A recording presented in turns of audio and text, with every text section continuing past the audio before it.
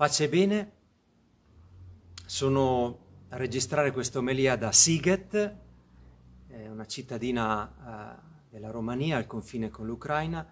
Qui alle mie spalle vedete l'oratorio che i frati cappuccini hanno eh, costruito una ventina d'anni fa.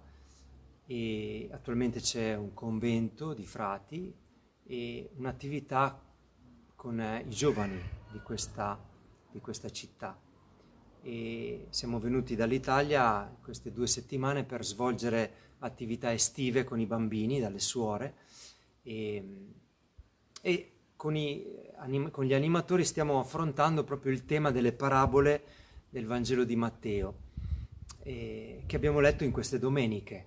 Eh, siamo partiti appunto dalla parabola del seminatore buono e ci siamo accorti che il nostro Dio, Gesù lo presenta come un Dio sprecone, come un Dio che esce a seminare e semina anche laddove sa che non può raccogliere.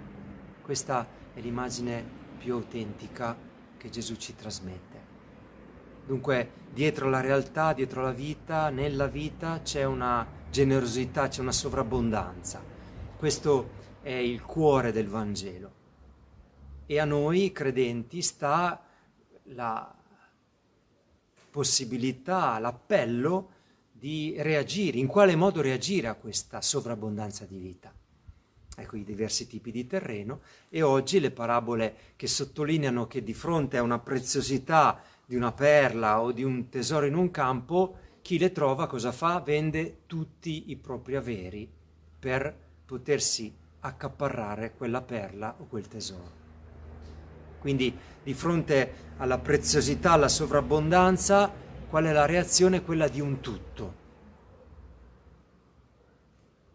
Io e te siamo convinti che dietro alla vita c'è una sovrabbondanza, c'è una generosità, o piuttosto siamo stati educati, siamo stati avvertiti dalle esperienze a volte faticose della vita che in realtà la vita è avida, è avara e dunque è più prudente accaparrare, è più prudente conservare, è più prudente trattenere?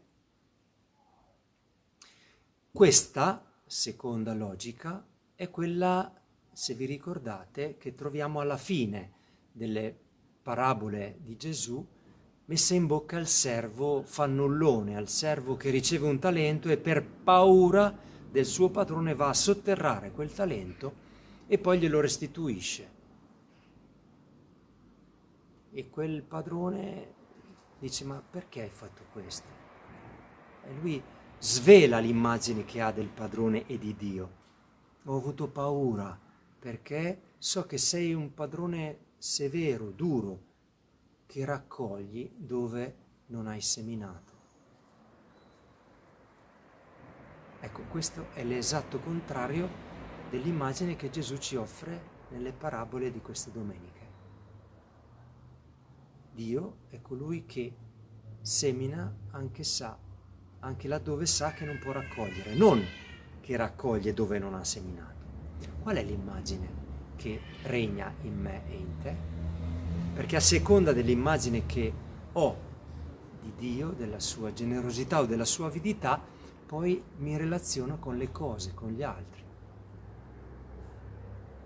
Ecco allora un appello a vendere tutto per guadagnare quel tesoro, per accaparrarti quel tesoro, sapendo che dietro c'è un Padre generoso che è disposto a darci tutto, che ci ha dato tutto nel figlio e dunque chiede che noi ci doniamo tutto a tutti.